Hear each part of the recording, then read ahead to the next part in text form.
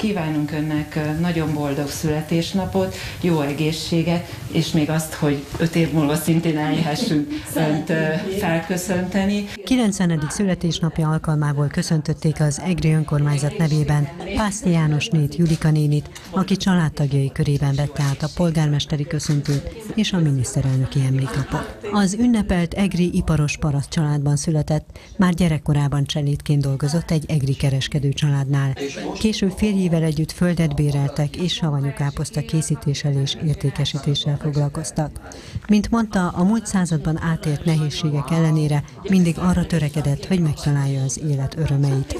A legtöbb örömöt a családja jelenti számára. Szerettem dolgozni, szeretem a gyerekeimet, örülök az unokáimnak, szép családom van, és boldogan éltem, nem voltam. Hát volt benne jó is, rossz de mindig irányítottam magam, hogy jól érezzem magam, úgyhogy nem paraszkodom. Pászti Jánosnét két lánya, négy unokája és két dédunokája köszöntötte születésnapján.